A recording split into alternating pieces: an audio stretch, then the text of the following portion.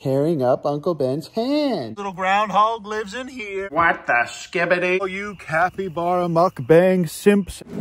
Oh! Happy fall, Beaverton. Still defends his hole. Gamer is as happy as could be. Look at these little boys. Ah! Oh, look at me. My name's Tibby. My resting disposition is tearing up Uncle Ben's hand. But this is how Tibby is all the time, you guys.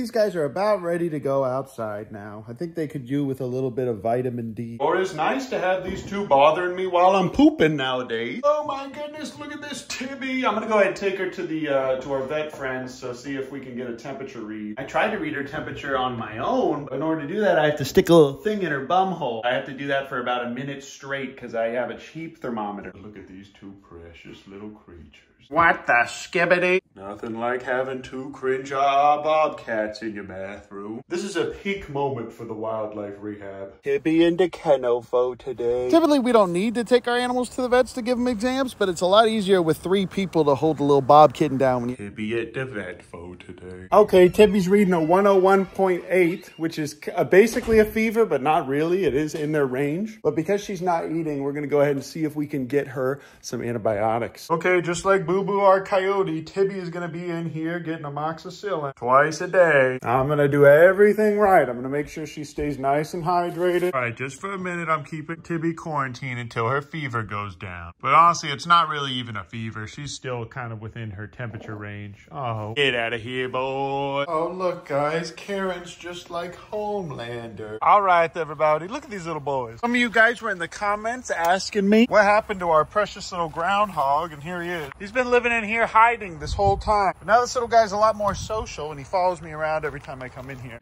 Little fella still defends his hole. This guy will let me scratch his little ears and neck and face. And he is still friendly little baby boy. Because we did bottle raise him when he was a tiny little baby. But he eats all the same food that these guys do. They don't get into fights at all. And it looks like these guys have been digging up a storm over here. Look at this. Nice big hole in there. And because it's nice and covered here, it's never going to flood. And I don't think this guy goes in their holes, but I don't think they would mind even if he did. Instead, though, he sleeps in here. And all of this is also food for him, and he drinks from the same water bowl. As you guys can see, he's going in there right now. Precious little groundhog. Come to think of it, I think that's actually his hole. So this precious little groundhog lives in here, and these guys all live in here. And I'm sure there's some kind of intricate tunnel system underneath here. Precious little burrowing rodent. Normally, I wouldn't advise mixing those two species, but bear in mind these two were raised together. We have a unique opportunity to study these two species living together, and it should ultimately be a pretty interesting case study. Why not do a bit of research as well? The cappies have been in this little paddock here for a couple days now, and there's no poo in there, but it is a little bit muddy for them swimming in. It's still going down into the 50s at night for the next couple nights.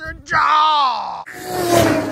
So I still have the tiny babies over at my friend BJ's. And she's doing an amazing job of bottle feeding those little guys. Also, it's funny that Gamer's great-great-grandson is living here with the Cappies now. These guys all live in this barn now. And in one or two days, as soon as the temperature goes back up, I'm gonna let these guys have free range of the whole pond again. Get back, garbanzo beans! Ah!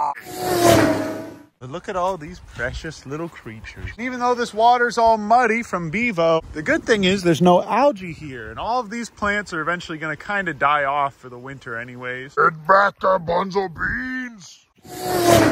This boy swimming right back to me.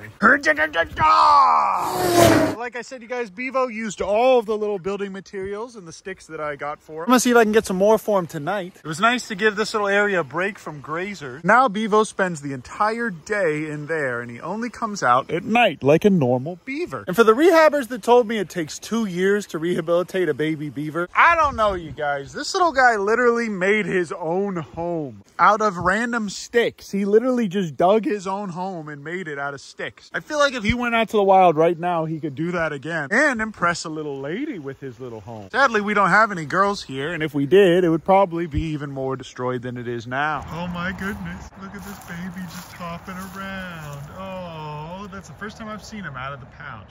And that little baby is gonna grow up with this little fella as his big sister. All right, everybody, it's the next day, and praise God Boo Boo. I mean, Tibby, not Boo Boo, although I should have just called her Boo Boo from the start. Did pee and poop in here. I kept her isolated. I think she just had some indigestion. I'm gonna let her run around the house again. Hey, birdie. Nice poops, boo-boo. Thank you. I just went ahead and collected her poos. I also just started to give her milk, and she spilled it, which is epic. I'm gonna go ahead and put this in the fridge for our vet. We've actually got like seven vets now that all love to work with us, which is awesome. Check this out, you guys. The baby's over there fighting with Boo Boo, but I just caught a ton of Inca doves in this flight pen. Look, there's like five of them in here. There are nine Inca doves that are trapped in here. And you know what? They're mine now. How on earth did this happen? How did they all get in here and then now none of them can get out? Not even joking, you guys. I'm keeping those Inca doves. Look at this little fella. Also, I finally went on Craigslist and got a ton of chickens again. And now Gamer is as happy as could be. All of the other ones passed away because of my foxes that were soft released here accidentally. But they are very, very happy here, trust me, because all of the chickens that we had eventually slowly died off. That also could have been for some of the hawks that we released. But as you guys can see, I have 10 chickens here. We're gonna keep a chicken count over the next several videos. But Gamer's great grandson is obviously too base to be killed by a dang fox. So now he is very happy with all of these wives. And they should all still be laying some eggs. And these chickens will eventually be food for the bobcats and other animals as well. So I sanitized this whole thing with a ton of bleach. But after the whole day, I finally got this little boy trapped in here. And I'm only accessing this room now from here with the double doors. That way, if he does get behind me, it's not the end of the world. Watch this.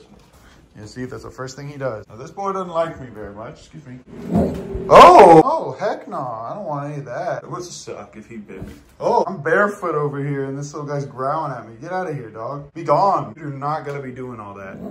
No, what are you doing? This could turn to a LiveLeak video. Oh, God. Yeah, and you and I are going to be in a little LiveLeak video if you don't like this video.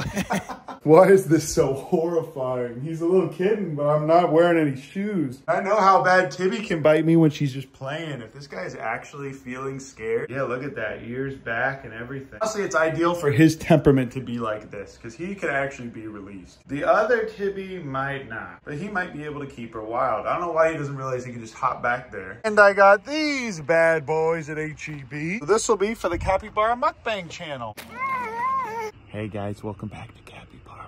All right, everybody, this is the setup for Cappy Blappy Mukbang tonight. I have a bunch of videos I'm gonna start posting. By the time you guys see this, there's probably gonna be a couple new ones. Promise I'm finally gonna get back into it. So for all you Cappy Capybara Mukbang simps out there, you're finally gonna be getting some new content. Also, there's all kinds of little frogs here at this pond that I just filled up. So it's gonna be real nice and cute. Might even hear some of those guys chirping. But look at this precious little baby. Do you guys wanna see 20 to 30 unfiltered minutes of these guys just working on this? Honestly, we could do it for an hour because these things are so big. Go ahead and check out the Capybara Mukbang YouTube channel on the Hit app YouTube. While these guys are getting filmed for Clappity Blappity Mukbang, I'm gonna go ahead and give this little big boy to our precious little beaver. Because beavers also love pumpkins, and for most animals, pumpkins stimulate their digestive system because it's a natural probiotic. So, just in general, pumpkins are a great little thing to feed. Oh, there he is. Schlog just snuck up out of nowhere. But beavers really do love pumpkins. He's not gonna try and swim that over there, is he? Oh, look at that, you guys. He loved a pumpkin. Happy fall fall, Beaverton. Look at that big old tail. It's getting huge. No garbanzo beans.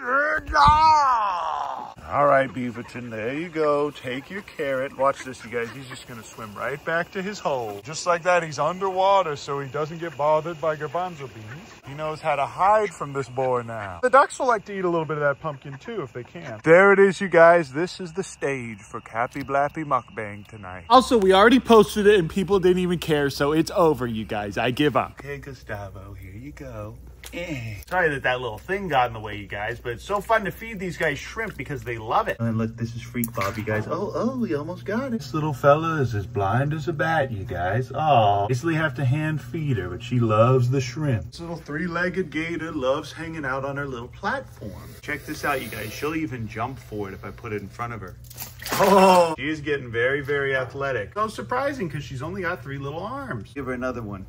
Oh, he loves munching on there. And she'll actually climb on top of this thing in front of me now, which means she's a lot more comfortable. Beautiful, beautiful little animal. Here she comes. This is our little female Nile croc. Oh, they all love eating the shrimp, you guys. Shrimp is just a good little thing for them. The reason why it's pink is because they put it in hot water. I didn't actually cook it. It's not good to give them cooked shrimp. Eat it, you little goo. I actually think this little girl would like another one because she is still pretty small. Here you go. Yeah, beautiful little creature. This boy is back inside where he belongs. That's it for now, everybody. I hope you enjoyed this episode of Uncle Ben being a goob. Love you guys. I appreciate you. And I'll see you guys in the next video. Ooh, almost forgot to tell. And because I love you guys, here's your based scripture of the day. All right, I'll see you guys in the next.